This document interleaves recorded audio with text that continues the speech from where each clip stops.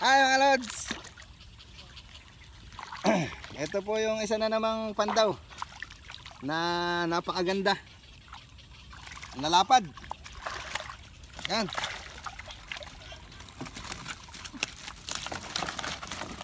Siguro po huli ng tres na to. Ang gaganda. Ah, pati po yun nando sa kabila yun.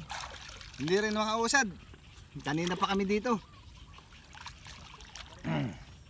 Thank you po Lord. Ayan pa, ang dami.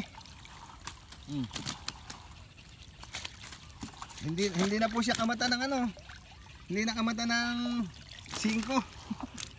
ang lalaki. Oh, ayan pa. ang dami, ang dami po ngayon.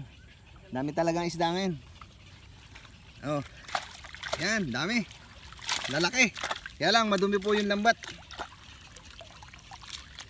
Pero nakachamba na naman. okay. See you soon. Thank you po. Sa ulitin. Hmm.